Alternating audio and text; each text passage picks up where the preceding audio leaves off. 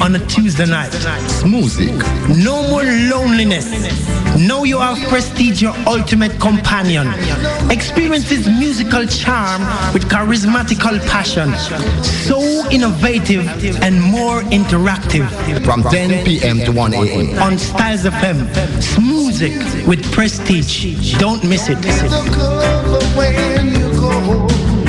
WAW, the Caravan of Love. What a Wednesday! This and every Wednesday from 9 a.m. until 1 on the p.m. Strong It takes you on a caravan of love of love songs. Four hours of love songs on Stylz FM, the people station 96.1, 96.7, www.stylzfm.com. Don't miss it. What a Wednesday! The Caravan of Love. Good morning to you. Good morning, and we are inside of positive. Yeah. So this morning, you know, you know, when, when it comes to positive, we we we have the real deal going on where the thing is all about good medicine. Yeah, substantial. You know, good food, good brain food, good thing. It's all good, positive. Yeah, you get something good out of it. Don't. Because uh, yesterday we had the people from the Transport Authority, and trust me, the whole thing, it came upon us that, you know what, we need to do a part two. So I just hope that when we finish talking to JPS this morning, the, the, the manager said, Captain Baker, you know what, we need to have a part two. So this morning, is it Mrs. or Miss Determined Sergeant? Miss. Miss. So you're not married yet. Okay, cool. All right, good morning to you. The parish manager from JPS inside of Portland. Good morning, how are you? Good morning. I'm doing very well, thank you. And thank you for having us, well, having me here today. all right, all right, all right. Uh, today we're looking at so much that it centers with JPS. Uh, tell us a little bit about JPS on a whole in the sense of what is it that you people are looking for from your customers? Okay, well, JPS is is uh, what we call a regulated utility, um, and we are involved in the generation, transmission, and distribution of electricity.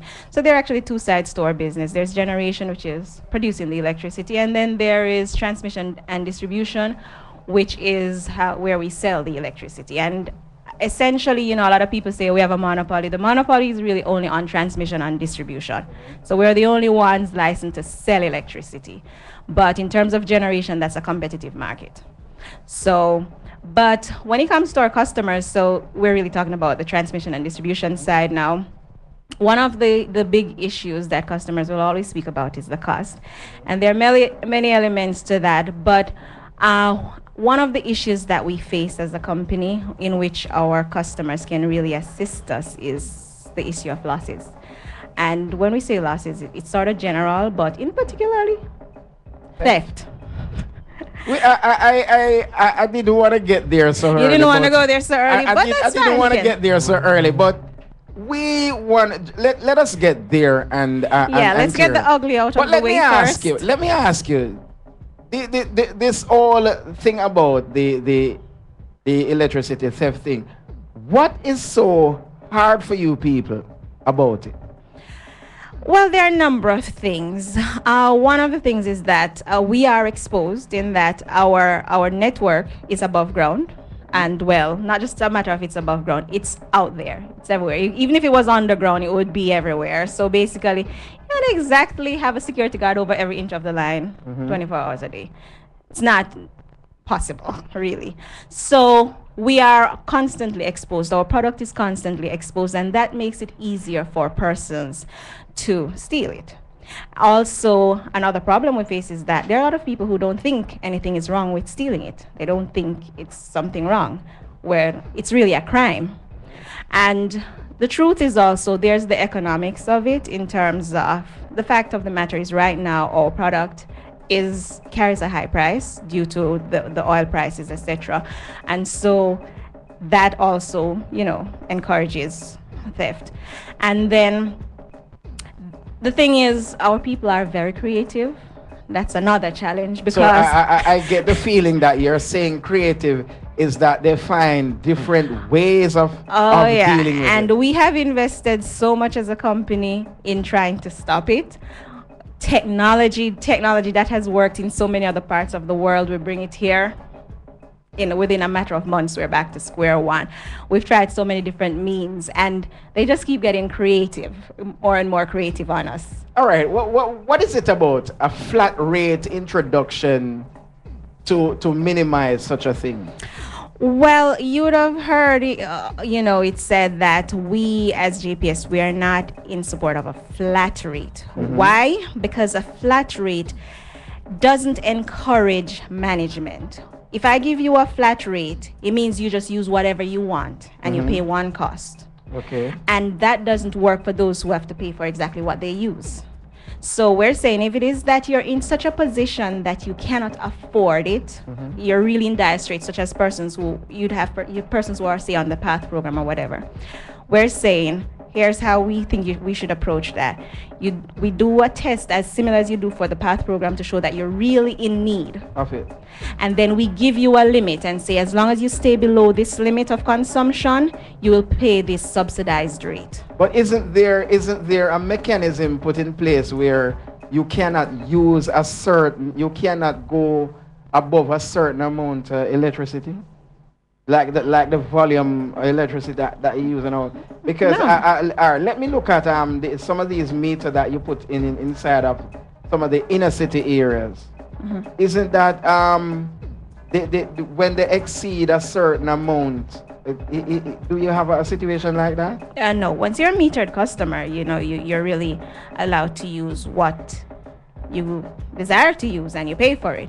But remember now we're talking in the cases of persons who don't want to pay for it at all. So we're saying if the reason you steal is because you say you can't afford it if we should say give you a subsidized rate mm-hmm. for you to come onto the, the system then we're expecting that your usage will be controlled because you can't afford it Yeah. so we're not expecting you to be splurging, which is what happens now when they don't pay. They just use. Uh, people will tell you when they have neighbors who steal electricity, they leave their radio on all day, blaring and gone about their business. lock up TV, everything, on. AC, everything, body, All lock right. up and, and John gone. Brown. John Brown is living at Block A, but in Block A there's um a, a, a- sense of six six different apartment on Block A that and this comprises of one person ha- having the light legit, but at the same time John Brown distributes to these person within. Is it as in he's subletting, what we call Right. subletting. Mm-hmm. Now that is a breach of the contract that we have with John Brown. Okay. We are the only ones who are licensed to be distributing electricity like that. So, because even if you decide to generate for yourself, which you are free to do, um, you cannot sell it to anybody else. In order to distribute it to somebody else, you have to sell it to us. Mm-hmm. And then we do the distribution. So that is what makes that wrong. And so it's also a breach of the terms and conditions of the contract that we So have with our customers. It's the whole tapping into your thing, make it illegal. and not just that, it's not usually safe.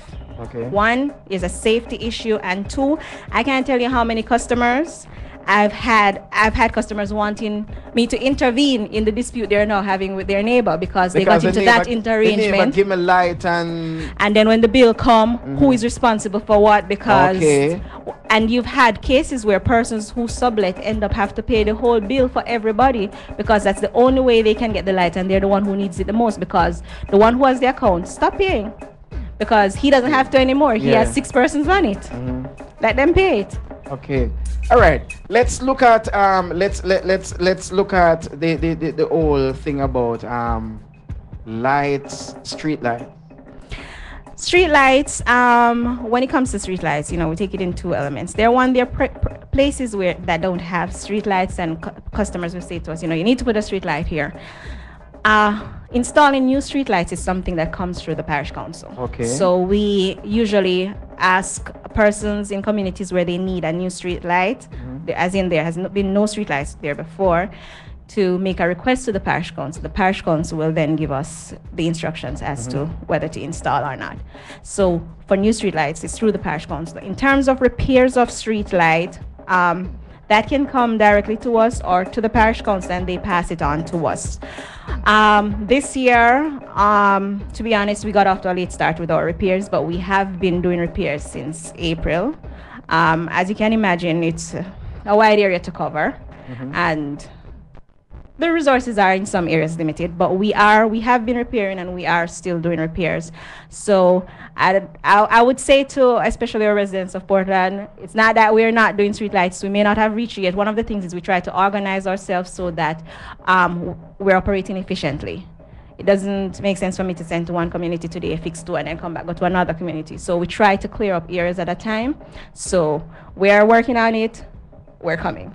You know, it, it, I, I, I just, I, I just wanted to stick up in and go back to this electricity thing.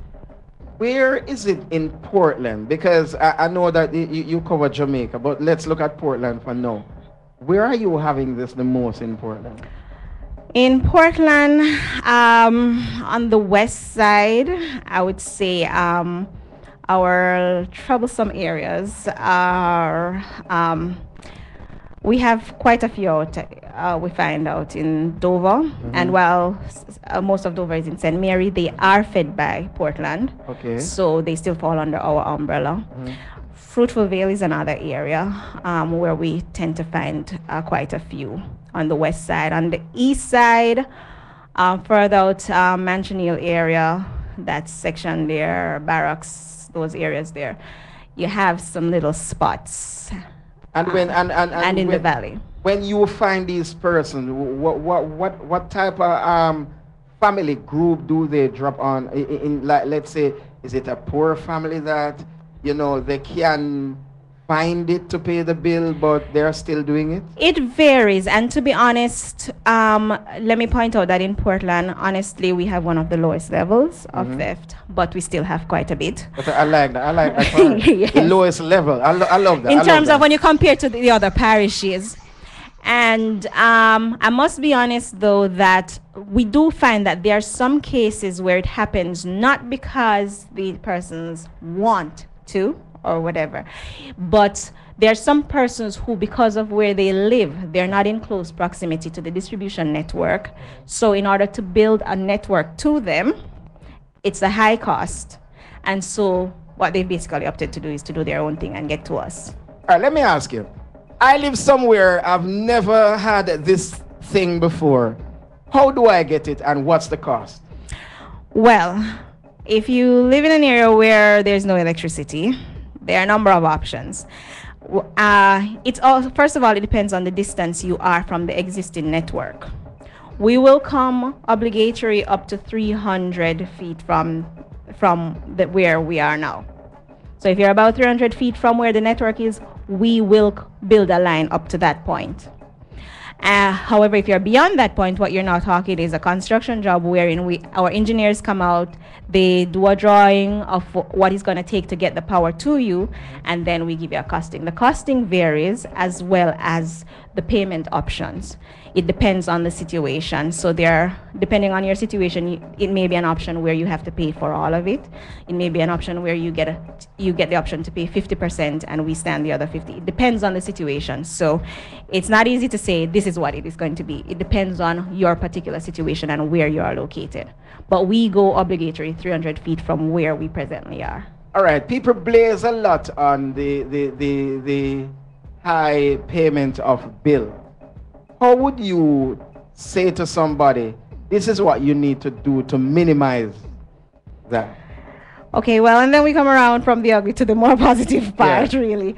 Um, it's management, energy conservation, energy management is what we, we constantly say to our customers. You need to manage what you're using. It is not cheap right now. I'm not going to try to pretend like it is, but there are some things that are out of con- our control, and what is in your control is managing what you use. For our part, um, on the 1st of July, we will be opening our branch of the e-store, and that's uh, JPS's store where we sell energy saving, energy management devices that you can use. We have had customers who tell you, you know, their, their light bills have gone down by up to 50% just using these things. We're talking LED bulbs, timers, etc. So that's something our customers in Portland can look forward to taking advantage of. um, Um, the gadgets in the e-store. And what these will help you to do is overall conserve, which is what it comes down to, not wasting electricity, using just what you need to pay for. You know, so it's being careful how you use the refrigerator, the iron, every I was, I was just about appliance to that ask you you, have. Is, is it what is so what is the most dangerous thing in my house that use so much of the uh, uh, of, of the electricity that you, you supply? Number one on your list, on the average household list, would be your refrigerator. That's the average household. We're not talking when you have the AC and the business. So now. would you recommend that I go in the fridge at least once per day? I wouldn't say at least once. That's almost impossible. But No, no, it's, it's it- about managing. There are a number of things when it comes to the refrigerator. Mm-hmm. One, don't have your refrigerator in an area where there's heat. Keep it away Okay. From sunlight, uh, not beside your stove where there is heat. The refrigerator is to cool stuff. If it is in a hot area, it's going to work harder. Okay. Don't pack up the refrigerator with everything at the end of the month when you do the shopping. Air must be able to pass through the goods, the, the stuff that's in the So refrigerator. you're saying you're, you're putting more pressure on the fridge. Yes. And as you said, don't be opening it every minute of the day. Especially during summer is coming up with the children. We recommend you I, get I- an igloo. I was gonna get there because we have the kids. The parent don't mind don't, don't mind it, but every time the child need to take a, a, a, a, a glass of ice water, perhaps he might have a, a, a, a drink in the fridge. You go in there every time to Mm. Throw juice. We recommend to parents when it comes to summer holidays, Mm-hmm. get an igloo, you put that on the counter. That's where they get their water and juice from. Mm-hmm. Not in the fridge, in and out of the fridge every minute. Some of them go there to cool down like it's AC. No. and adults do it too. So it's it's about controlling the environment. And we always recommend, you know, the children are the easiest ones to get on board. We recommend that make it a project for them. They're the energy monitors of the house. They will walk, they will turn off the lights when you are in the room mm-hmm. if you get them on board. So get the children on board, help them to understand. You know, some parents go as far as to say, okay, if the light bill goes down this month, you get an extra hundred dollars. And you'd be surprised how well the children take this on. You people, you people have this level of encouraging people to do some stuff to get a little bonus on your your bill and all of that, like um, paying your bill on time yes. and, and all of that. But let me go to this question from from uh, uh, it's it's coming from a listener. Ask her about a pre-mint meter where you use a card to top up.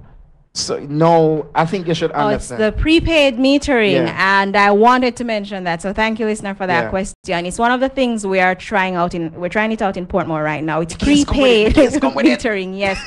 So basically, you get out, you go, you you come into our Bill Express at the office. You buy a voucher that is assigned to your meter only, Mm-hmm. so nobody else can use it even if you lose it. But you know, you keep your number handy. You go home, you enter that in. You have a unit in your house. You enter that number into unit, and it tops up how much ever you want to put on it. And basically, when you get to a point where you only have five kilowatt hours left, it gives you a warning that that's it's time that's to a top up. period behavior, right? Yeah, it, it tells you it's time to top, top up again. Or if it is that you have reached five kilowatt hours, you know you don't have no money to go buy to go top up again, but you know something special happening this evening. Mm-hmm. You control what you use until then to save you five kilowatt hours for your event. So let me ask you then. You're using it in Portmore. So basically, it's in Jamaica, right? yes, we have two persons. Last week we installed our first two meters. Here one come to me now. man. Let me try it. well, we haven't come to Port, started trying it out in Portland, but right now it's persons who are volunteering in Portmore to try it out because we want to ensure that when we roll it out to the public, all the kinks and Mm-hmm. I- everything. I'm ready to right. volunteer. I'm ready, I'm ready. We will bear that in mind when it comes to Portland. But it, re- it, it really, I actually spoke to one of the persons on Friday, and he said when it was installed on Monday, he he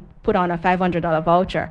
And Friday, when I spoke to him, he's like, he's still going, hasn't reached his five kilowatt Is hours it yet. economical? You think it's economical? Yes, and he said in terms of what his monthly bill used to be, it was pretty much in the same range. Mm-hmm. But the good thing is that you have control. It's Okay. what it comes down to. It gives our customers control over their spend. If you if it is that you cannot, just like with phones, if you are not one of those persons who can go postpaid and just whenever when your bill come, whatever Mm-hmm. it is, you pay it. With a pe- prepaid, you are able to spend as on electricity as you have it. So and you're you're able to manage. As I said, if you reach a point, if you put on five hundred dollars and you know that it needs to stretch for two weeks, you're going to control what you're using to ensure that it's stretched for the two weeks rather than just using and not having a clue what your bill is going to be like. So it's about putting control in the hands of our customers, and that's one of the things we've been really trying to do for the past two years. Work on ways to put control in the hands of our customers. Okay, some people said JPS is taking the money away from the people. But let me ask you another thing. What is it that you are giving back?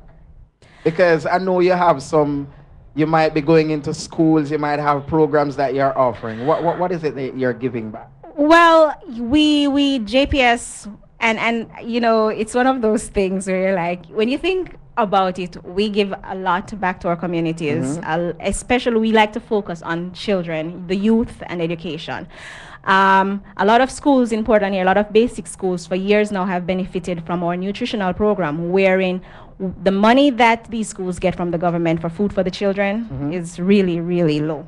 And f- over the years, we have been matching that with millions of dollars across the island. Over 30,000 children benefit from this each year, and quite a few here in Portland. And so we've been working with them in that regard. You know, just this year for our Labor Day project here in Portland, we built a gazebo for the young men out at Muirton Boys Home from scratch, just our team members, um, and putting our share that we got for community project in it. We have a foundation right now. We launched our foundation last year, so more our giving is more organized right now, and I, so I think more people will start to see it rather than before when it was really it wasn't as organized as with the foundation, but needless to say, we millions of dollars each year. We give back to the communities, we give back to schools, especially to students.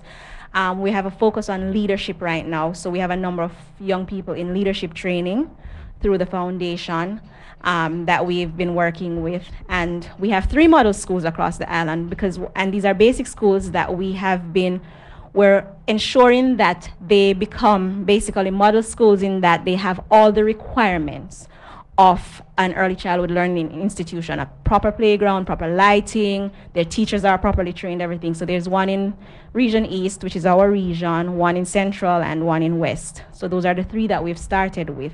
But this is one of our main aims right now to get these model schools to the place where they are basically call it perfect early childhood institution in terms of how of how they offer education to our our children. What's your toll-free number, should in case uh, somebody want to call you, and um, your office number? Okay, well here uh, the general toll-free number for our customer care center we have two. There's one eight eight eight two two five.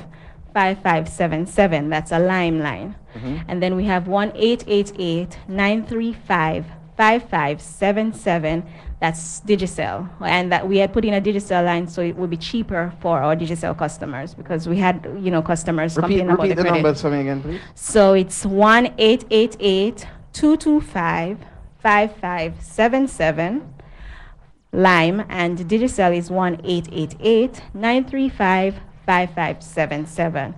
Our Port Antonio office, the number is 993 2618. Sorry, 192619. And basically, you select the option for who you want to speak to. I must say to some of our customers in Portland who may have been trying to call over the past few, um, a week or so, um, they may not have been getting through. We realized it was reported to us, but Lime is actually at our office today trying to sort that out.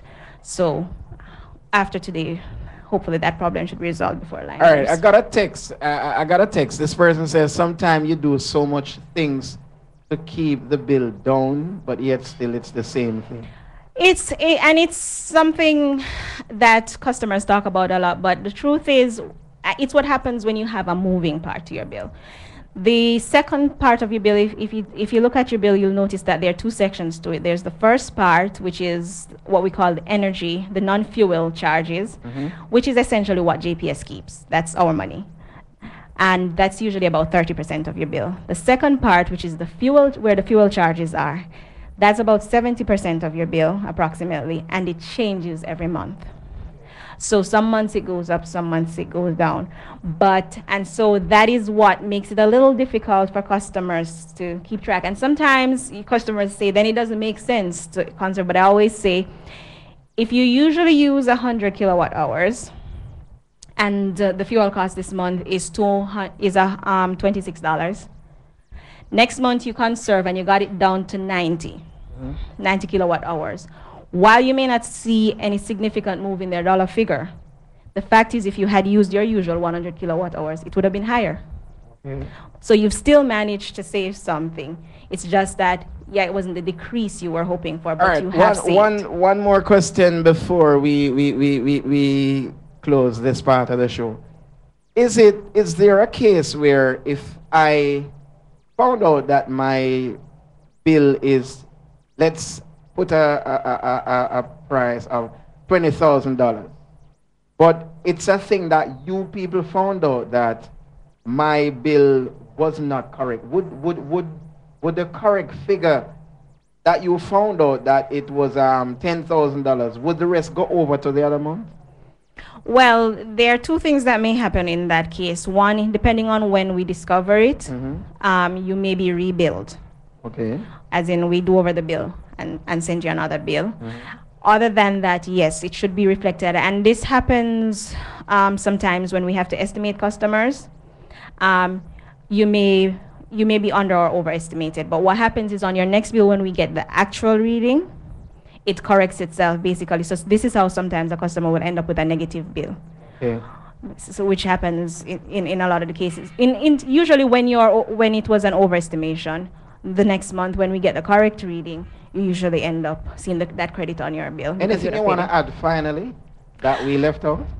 Um. Well, that means that you want me to go on for another hour. Yeah, I, no, I, I, I just, I just no, want just in ra- anything that is really important that we should let the listeners know before you leave here. Well, the key thing I want customers to know about is that, as I did mention it before, is that we're opening our e-store and it is, we really want our customers to try to take advantage of the products that we will be selling there. It will help, go far way in helping to manage your energy costs, reduce your bills, and at the end of the day, what we want customers to remember is that conserve. At this time, with oil prices where they are, until we get new generation, uh, which brings the price down, your key is to conserve. We're doing what we can from our end, and Team Portland is committed to offering the best service we can. But at the same time, we ask customers to please conserve. I notice light is not going off that much again. Yes, our operations team has been working, working, working, and especially now with World Cup, they're like, "Don't worry, it's not going off." Look so here, if you, you see, I go, I go and come for you. I go and come for you with a strap if you make the final deal. we're we're working on that. no, really please, please. trying to keep it intact. Anyway, um, on the fun side of it, you, you, you people enter business owners. Uh, we did last year. We did it this year. Last year we came third, actually. So you, It- you, you, you don't want to go back, fresh you don't go back out. We year? we it, it this year got off to a rocky start for us. You know, all the planning and organizing. Okay. Because uh, we we literally are going through a transformation process as a company, um, and so it's been getting all, the year got off to a really um, rocky start in terms of getting everything in place and um, looking at our goals, setting our targets of what we need to accomplish this year. Okay. So, um, and then there were some vacations and stuff. So the guys who would usually participate weren't all able to train and stuff. So by the time it came upon us, we were not ready. Um, but we did come third last year, um, fresh out of, of, of fresh And- off and- the and- block. And she don't, and she don't want to come first this year, so. No, we will. We will. I'm sure we'll be back at some point right. to take our um, rightful I just place. want to say special thanks for you coming through. And this question is not to JPS, Oh. but it, this question is to you, personally to you. The name of the, this feature is known as positive. What makes you positive? Wow, I would say it is uh, my faith in God, which gives me constant hope. Okay. I don't lose hope easily because I always believe that there's something greater to come. On behalf of JPS, quick. On behalf of JPS, um, you know, power on. Okay. We just want to say a special thanks to Miss the Mi- uh, uh, the Thomas Surgeon. I, I get that right?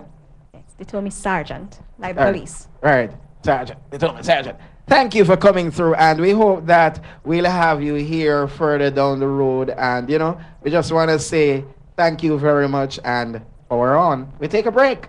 We'll go. Portlanders, Portlanders, Acan Auto Technology, located at 33 Bomber Crescent, Port Antonio. Visit us